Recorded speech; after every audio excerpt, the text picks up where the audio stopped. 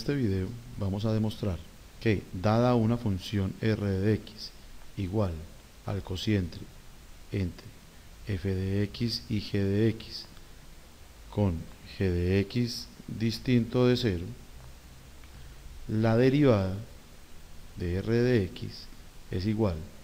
a, según la regla del cociente, la derivada del numerador multiplicada por el denominador menos el numerador multiplicado por la derivada del denominador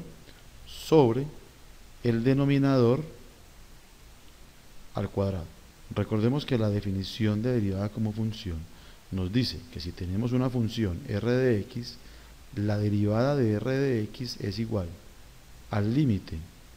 cuando h tiende a 0 de r de x más h menos r de x todo sobre h. Vamos a aplicar esta definición de derivada teniendo en cuenta que la función r de x está definida como un cociente de funciones. Es decir, r' de x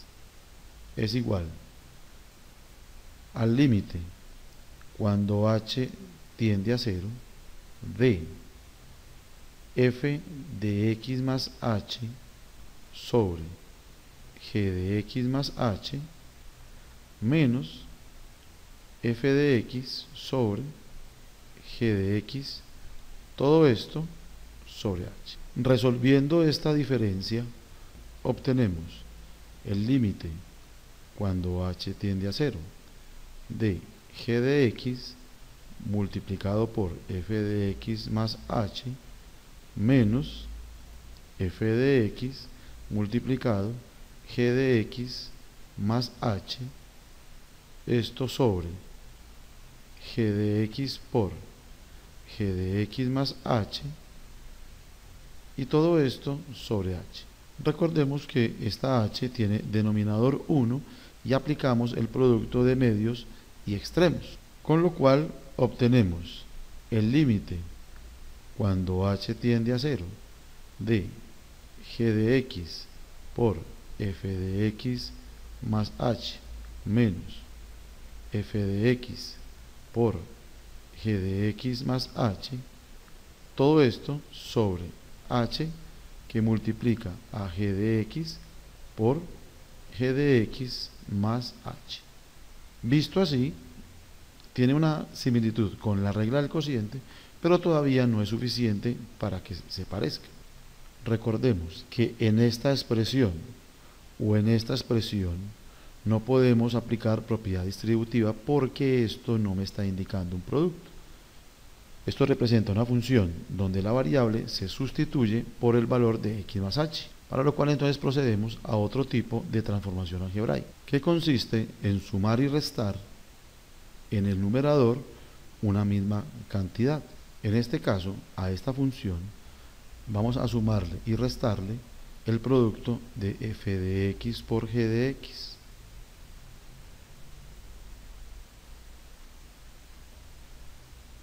De manera que, de manera que esto nos da 0, pero lo estamos sumando y restando para poder ajustar nuestra demostración. Con esta suma podemos observar que se pueden definir dos factores que tienen un factor en común. Estos dos, hay al mismo tiempo también podemos definir un factor común para estos dos. En este caso sería f de x, para este caso sería g de x. Con lo cual podemos reescribir este límite como el límite cuando h tiende a 0 factorizamos g de x que multiplica a f de x más h menos f de x menos f de x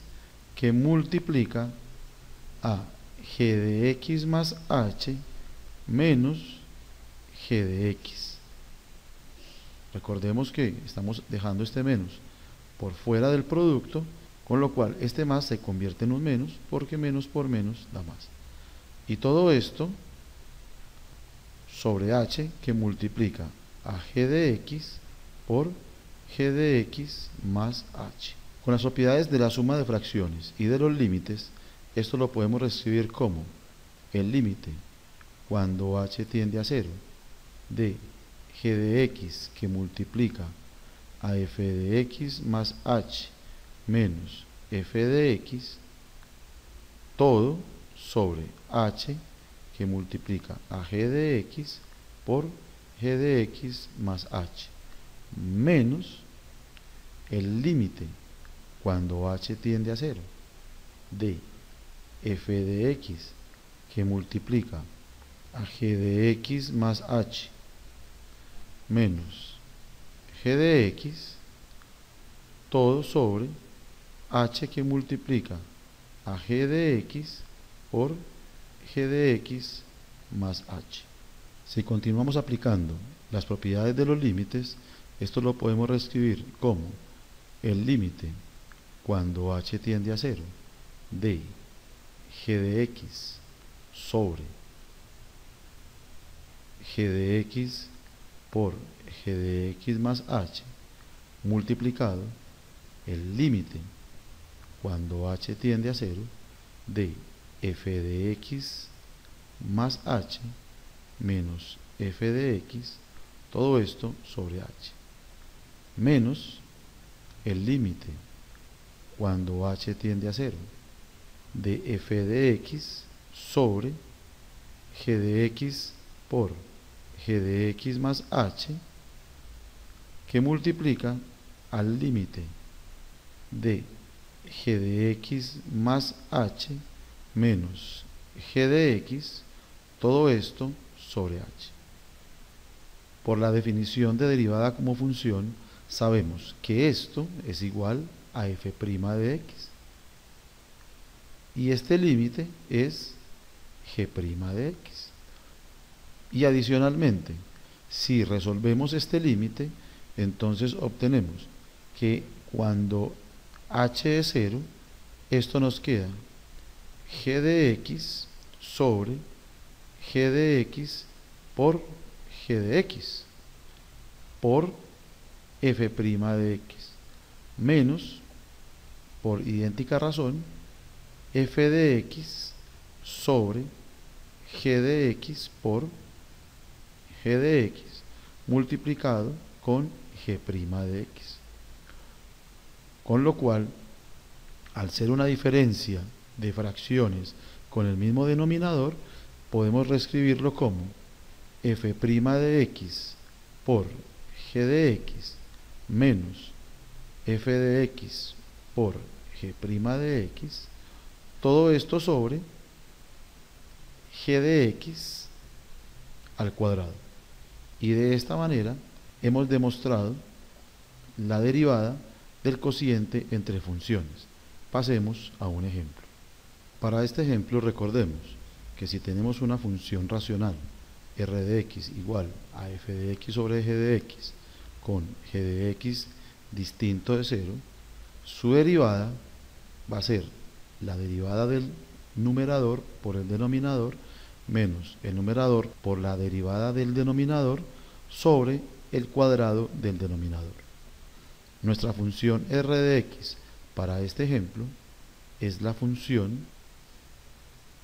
3x al cuadrado menos 2 sobre 2x al cuadrado menos 3 de donde entonces la derivada de la función r de x es igual, siguiendo la regla de la derivación, es la derivada de la función del numerador, que es 6x, que multiplica a la función del denominador, 2x a la 2 menos 3, y le restamos la función del numerador, 3x a la 2 menos 2, por la derivada de la función del denominador, que es 4x sobre 2x a la 2 menos 3 al cuadrado. Ya nos resta resolver algebraicamente el numerador con lo que obtenemos 12x a la 3 menos 18x menos 12x a la 3 más 8x, todo esto sobre 2x a la 2 menos 3 al cuadrado. Con lo cual obtenemos 2x a la 3 menos 2x a la 3 nos da 0 y menos 18x más 8x nos queda menos 10x todo sobre 2x a la 2 menos 3 al cuadrado. Y hemos derivado una función racional. Espero que la demostración y el ejemplo hayan sido lo suficientemente claro para todos para que puedan seguir profundizando en su estudio del cálculo diferencial.